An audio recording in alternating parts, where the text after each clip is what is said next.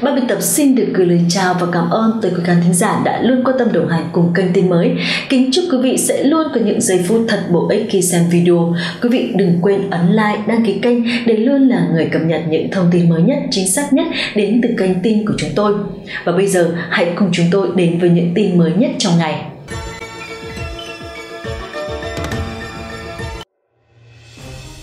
Thưa quý vị, đại họa tiếp tục đổ lên chính quyền ông Tập Cận Bình khi hôm qua thần sấm và thần sét chút giận ầm ầm và đùng đùng đánh sập mạng lưới điện quốc gia của Trung Quốc và đánh lõm một đoạn đập tam hiệp khiến nguy cơ vỡ đê sông Dương Tử lên tới 99%. Hàng ngàn ngôi nhà đã bị cuốn trôi ra ngoài Biển Đông. Trung Quốc tiếp tục đón nhận ngày thứ 40 đầy đen tối và thiệt hại vô cùng nặng nề. Thưa quý vị, theo Trung tâm Khí tượng Thủy văn Trung ương Trung Quốc cho biết, mưa lũ, động đất, sóng thần, lũ quét, sạt lở dự báo là vẫn tiếp tục dồn dập, đổ xuống 28 tỉnh thành phía nam của phía Trung Quốc trong những ngày tiếp theo. Đặc biệt sẽ nhiều hơn vào nửa cuối tháng 4 năm 2022, làm cho bầu trời Trung Quốc đầy xám xịt và u ám này lại càng trở nên đen tối hơn.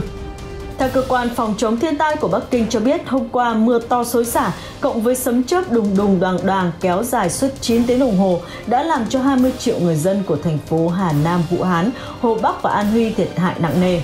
Các tỉnh và thành phố nói trên của Trung Quốc tiếp tục bị nhấn chìm trong mênh mông biển nước, có những nơi vùng trũng ngập lên tới 11 mét, khiến ba tỉnh thành phía nam nói trên của phía Trung Quốc phải hủy bỏ kỳ thi đại học quốc gia thường niên. Các nhánh sông thuộc hệ thống sông Dương Tử đã buộc phải nâng cảnh báo hệ thống lũ ống, lũ quét, sạt lở lên cấp độ 2, cấp độ cực kỳ nguy hiểm. Hôm qua, Trung Quốc cũng ghi nhận những trận sấm sét kinh hoàng đã xuất hiện ở nhiều nơi, dẫn tới hệ thống điện quốc gia của nước này bị đánh sập. Toàn bộ 16 thành phố phía nam của Trung Quốc chìm trong bóng tối. Rất nhiều người sống trong cảnh màn trời chứa đất, đến gói mì tôm cũng không có mà ăn. Cảnh tượng lầm than bao trùm lên một bầu trời u ám, đen tối. Mọi người chỉ biết ngồi cầu nguyện và mong sao mưa bão sớm chấm dứt để trở lại cuộc sống bình thường. Chứ hơn một tháng vừa qua, người dân dân của Trung Quốc đã quá khổ rồi.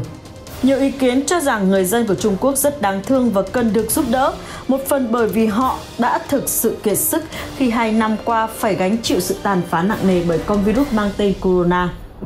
Bây giờ lại đến sự nổi giận của thiên nhiên trút xuống làm cho những người dân vô tội của Trung Quốc hứng chịu hết nỗi đau này đến nỗi đau khác. Hơn 1,4 tỷ người dân Trung Quốc đại lục bây giờ chỉ mong muốn có một điều nhỏ nhoi, đó là cuộc sống trở lại bình thường.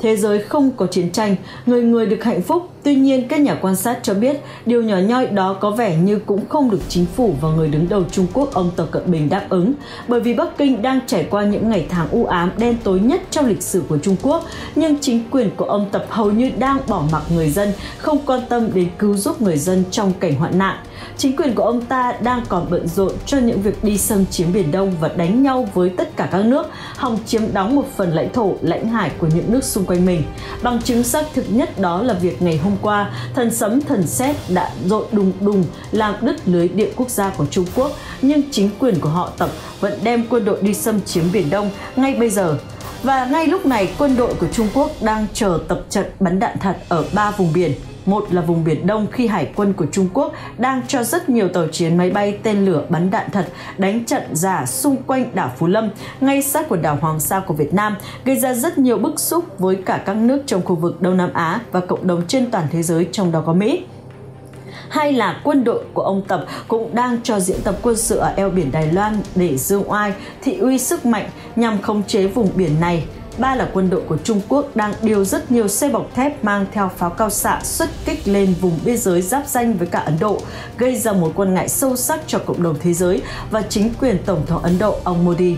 Các điều trên cho thấy rằng người đứng đầu Trung Quốc ông Tập chỉ muốn thực hiện cái âm mưu đi xâm chiếm lãnh thổ, lãnh hải các nước chứ họ Tập không quan tâm gì đến thiên tai dịch bệnh đang hoành hành ở nhiều tỉnh của Trung Quốc. Những điều dối ren trên đang khiến cho người dân của Bắc Kinh đang sống trong cảnh lầm than nay lại càng trở nên túng quẫn hơn. Rất nhiều nước đã tỏ ra tiếc thương cho người dân của Trung Hoa đại lục, nhưng họ chỉ biết trách chính quyền tham lam vô độ của chính quyền ông Tập Cận Bình, bởi vì chính những chính sách sai trái và đường lối không đúng đắn của ông ta đã làm cho Trung Quốc trở nên điêu đứng và tang thương chưa từng có như thế này. Hiện hơn 1,4 tỷ người dân của Trung Quốc đại lục đang mất dần lòng tin với cơ quan đầu não của họ Tập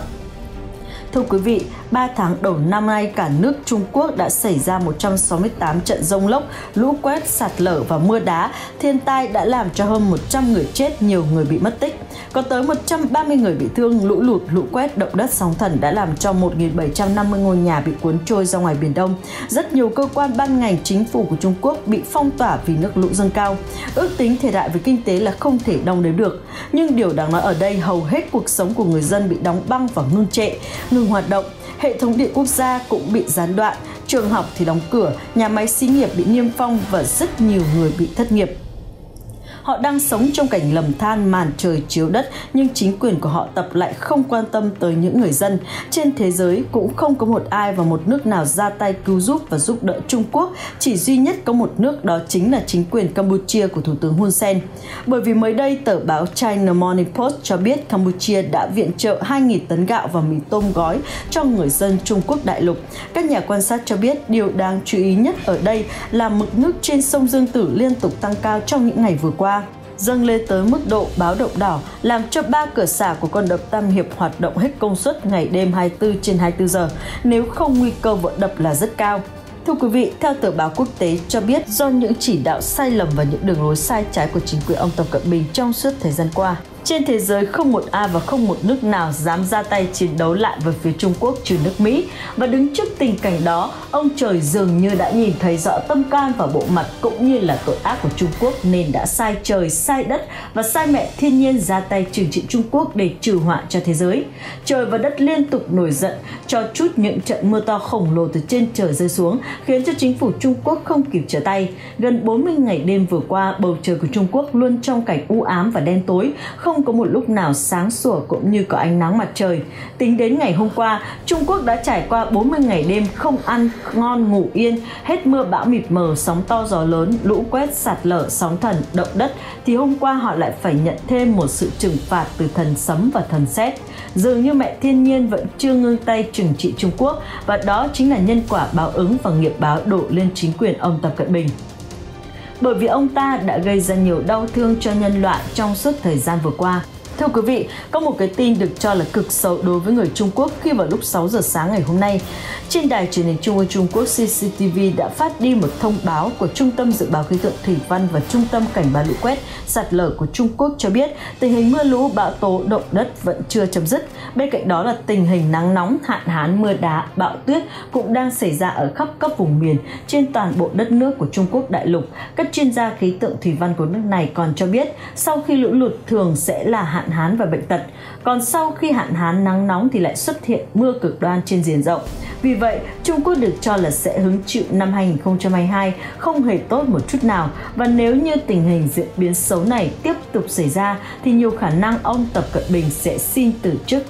Thưa quý vị, theo tờ báo nổi tiếng của Trung Quốc mang tên China Morning Post, hôm qua đã có một bài viết rất hay và rất dài miêu tả về thảm họa thiên nhiên đang đổ lên Trung Quốc và cảnh tượng lũ lụt ở gần sát con đập Tam Hiệp khiến giới chức của nước này không khỏi lo lắng. Tờ báo của Trung Quốc cho biết mưa liên tiếp trong một tháng vừa qua không ngừng nghỉ, cộng với động đất sóng thần, lũ quét sạt lở, bão tố phong ba đã khiến cho hơn 800 triệu người dân của Trung Quốc bị ảnh hưởng một cách hết sức nặng nề và tình hình đó vẫn đang có những diễn biến hết sức phức tạp trong nửa đầu tháng 4 và dự báo nửa cuối tháng 4, tình hình còn trở nên tồi tệ hơn rất nhiều. Với những diễn biến khó lường, hầu hết các vùng đất rộng lớn của Trung Quốc đều bị tàn phá nặng nề. Trên thế giới chưa thấy một ai ra tay giúp đỡ Trung Quốc, không phải vì thế giới không thương cho người dân của Bắc Kinh mà họ không muốn giúp đỡ chính quyền ông Tập Cận Bình.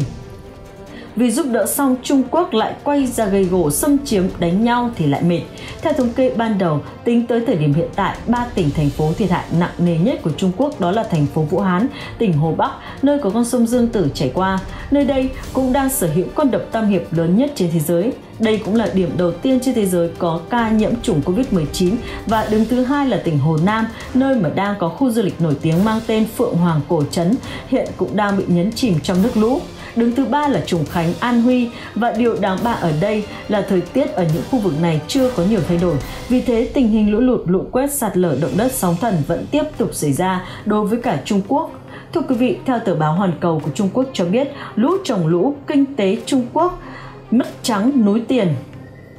các thảm họa liên quan tới mưa lũ trong năm vừa qua đã khiến cho nền kinh tế của Trung Quốc thiệt hại tổng cộng 5,9 tỷ đô la. Khắp các vùng miền phía nam của Trung Quốc tiếp tục hứng chịu mưa lũ, hơn 120 người đã thiệt mạng hoặc mất tích trong năm nay. Theo trang Fox News, Trung tâm Khí tượng Thủy văn Trung Quốc đã nâng mức độ cảnh báo thời tiết lên màu vàng, mức cao thứ ba trong thang cảnh báo cấp độ và một loạt các tỉnh như thành phố Thượng Hải và Trung Khánh cũng liệt vào danh sách đang bị ảnh hưởng nặng nề. Theo dự báo, những trận mưa xối xả sẽ xuất hiện trong nhiều ngày tới. Hình ảnh kênh truyền hình Trung ương Trung Quốc CCTV cho thấy các tuyến đường và các đồng bằng của Trung Quốc đều ngập sâu trong nước lũ, có nơi ngập lên tới 11 mét. Cũng theo đài truyền hình Trung ương Trung Quốc cho biết, về phía nam thuộc tỉnh Giang Tây, hơn 8.000 người đã phải sơ tán 54 ngôi nhà đã bị đổ vì mưa lớn nhiều ngày qua. Tờ báo Nhân dân Nhật Báo còn thông tin từ Bộ Quản lý Khẩn cấp cho biết, trên cả nước, các thảm họa do lũ lụt gây ra đã phá hỏng 17.000 ngôi nhà, gây thiệt hại 5,9 tỷ đô la Mỹ, khiến ít nhất 121 người chết hoặc mất tích. Tân Hoa Xã cho biết nhiều khu vực đã phải nâng mức đối phó với lũ lụt vì mưa không ngừng nghỉ, càng khiến nước sông dâng cao và khiến con đập Tam Hiệp càng có khả năng nguy cơ bị vỡ và nếu nó vỡ nó sẽ cuốn trôi 2 phần 3 diện tích của Trung Quốc ra ngoài Biển Đông bản đồ của thế giới sẽ không còn xuất hiện tên của Trung Quốc nữa và đó là một điều rất đen tối cho phía Trung Quốc. Và tin đó là một trong những tin thật đáng buồn. Cơ quan khí tượng tỉnh An Huy thông báo các trận lũ quét có nguy cơ tàn phá mùa màng ở các thành phố trực thuộc tỉnh này như Hoàng Sơn, Chỉ Châu, Đồng Lăng và An Khánh. Cơ quan này cũng kêu gọi chính quyền các địa phương phải kịp thời cảnh báo, cung cấp thông tin và sơ tán người dân để giảm thiểu thiệt hại về người và của.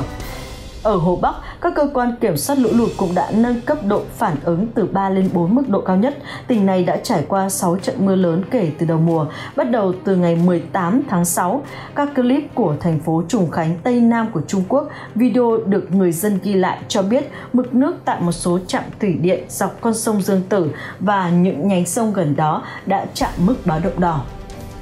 Trong khi đó, mực nước ở một trong năm hồ lớn nhất của Trung Quốc đang vượt mức báo động 2 mét. Nguy cơ vỡ đê sạt lở là rất cao. Các chuyên gia khí tượng thủy văn của Trung Quốc dự báo trong một vài ngày tới và trong những tuần tới, mưa lớn, lũ quét, sạt lở, động đất, sóng thần, sấm sét vẫn liên tục xuất hiện dày đặc ở 28 tỉnh thành phố phía nam của Trung Quốc.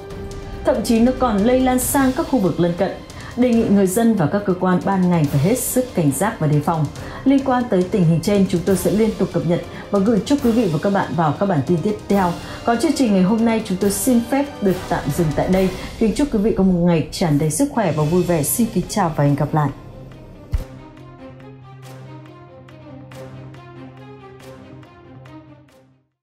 Bản tin vừa rồi cũng đã kết thúc chương trình ngày hôm nay của tin mới. Cảm ơn quý vị và các bạn đã chú ý theo dõi. Mọi ý kiến đóng góp của quý vị hãy để lại trong phần bình luận video này để chúng tôi có thể kịp thời giải đáp. Xin kính chào tạm biệt và hẹn gặp lại.